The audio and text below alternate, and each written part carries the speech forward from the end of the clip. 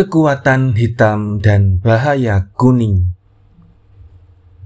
Acara utama dari grup Amerika Asia Timur dan Pasifik adalah diskusi belak-belakan tentang persoalan politik Amerika dan perjuangan anti-imperialis. Baru-baru seorang mahasiswa Tiongkok Amerika berbicara ia mewakili ormas mahasiswa keturunan Tionghoa di sana, dan di dadanya terpancang lencana Yellow Peril. Ia menyatakan bahwa mahasiswa-mahasiswa keturunan Tionghoa tidak merasa betah di AS dan struktur masyarakat borjuis di sana telah merusakkan dasar-dasar ketionghoaan. Dan tujuan organisasinya adalah menumbuhkan kembali identitas ketionghoaan mereka, juga membantu imigran-imigran kuli-kuli dari Hong Kong yang datang ke California agar mereka dapat hidup secara layak di sana. Ide-idenya sama dengan ide-ide dasar Baperki, tetapi penerapannya jauh lebih ekstrim. Waktu diberikan kesempatan, saya bicara. Saya adalah orang yang mempunyai ide-ide yang berbeda dengan kalian. Bagi generasi muda keturunan Tionghoa di negeri saya, persoalan pokoknya adalah bagaimana mereka dapat mengasimilasi dirinya ke dalam masyarakat mayoritas.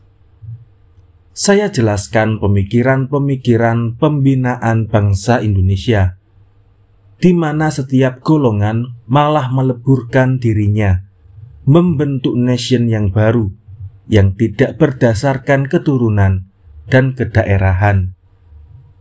Masyarakat apa yang kalian cita-citakan 50 tahun yang akan datang? Jika keturunan Eropa memelihara keeropaannya, keturunan Afrika memelihara identitas hitamnya, dan kalian mempertahankan identitas ketionghoaan. Tetapi ia tak mau menjawab pertanyaan ini. Setelah selesai acara resmi, saya temui toko Yellow Peril ini. Saya anjurkan agar ia pulang ke Hong Kong atau Taiwan. Bahkan kalau berani ke RRC, jika ingin mempertahankan identitasnya. Kalau tidak, kau akan terus frustasi sebagai warga negara AS. Kata saya, apa yang kalian lakukan terhadap Soekarno? Diskusi kemudian dilanjutkan dengan pembicara seorang mahasiswa militan negro yang tergabung dalam Black Union Student. Tema pembicaraannya adalah penghasutan rasial terhadap ras putih ia menceritakan kejahatan-kejahatan orang kulit putih terhadap orang kulit berwarna. Dan akhirnya ia menyatakan bahwa kelompoknya akan berjuang agar ada pemisahan antara orang-orang hitam dan putih di AS.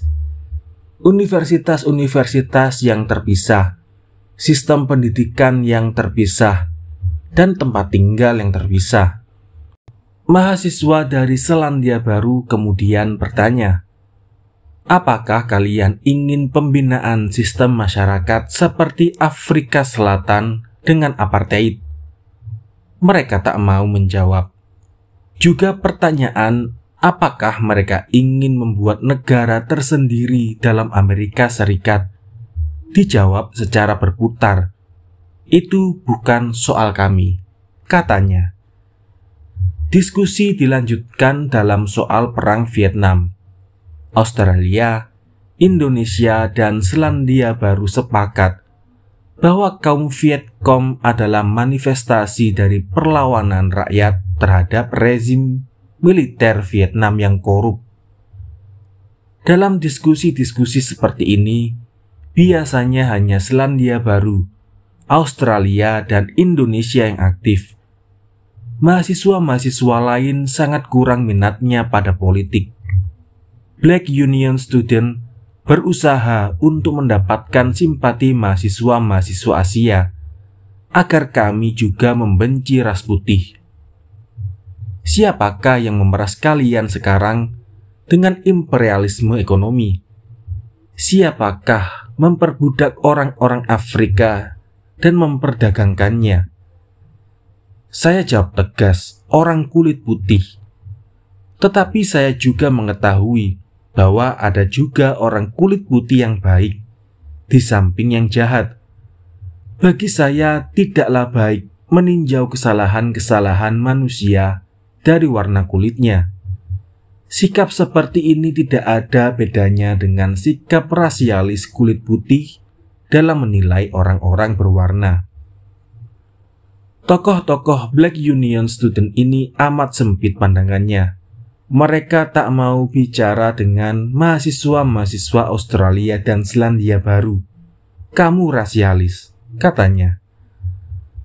Mahasiswa Asia lain mereka anggap antek AS seperti Filipina, Vietnam Selatan, Muang Thai. Hanya kepada Indonesia mereka masih mau bicara.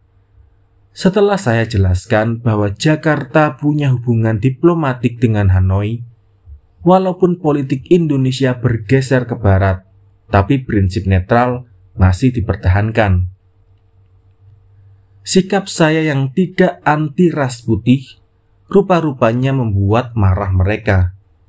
Kau dari Indonesia. Apa yang kalian lakukan terhadap Soekarno? Toko agresif yang anti-imperialisme itu. Kalian gulingkan atas suruhan CIA. Dan kalian membunuh ratusan ribu bangsa kalian yang progresif. Serta membangun kem konsentrasi negara kamu antek AS.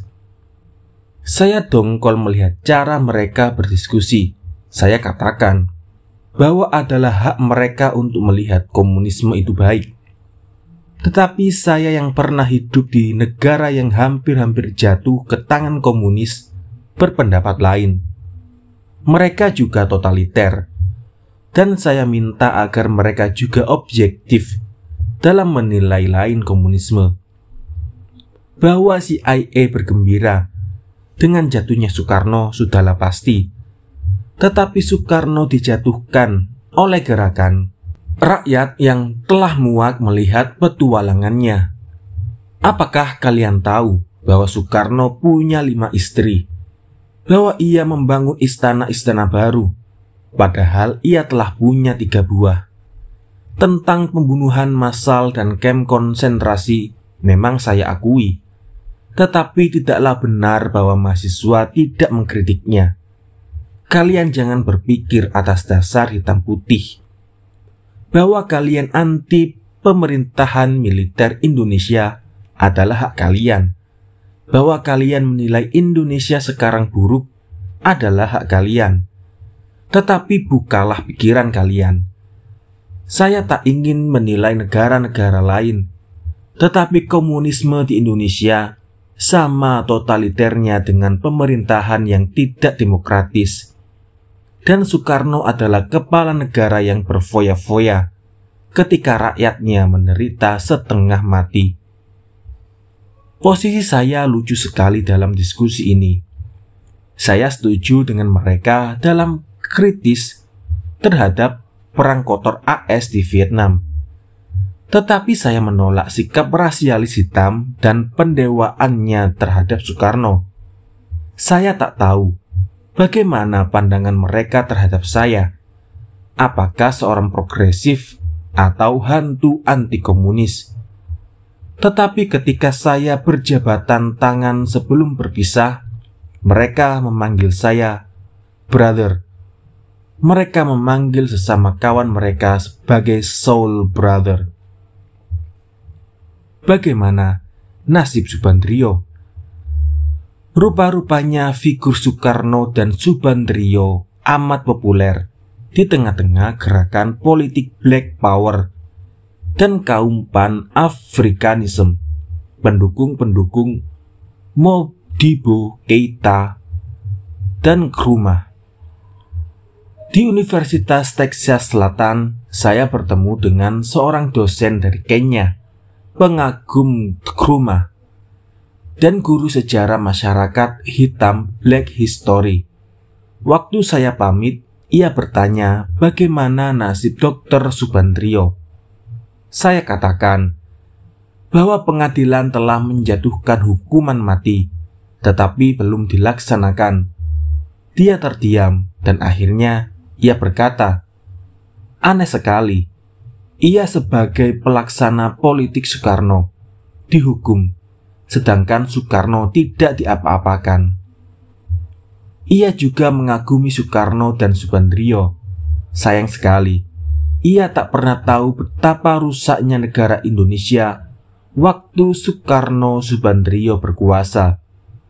Propaganda untuk memuji-muji Soekarno dan Subandrio terus berjalan dan kedutaan-kedutaan kita di luar negeri hanya menerbitkan brosur-brosur kecap tentang pidato-pidato omong kosong dari Indonesia.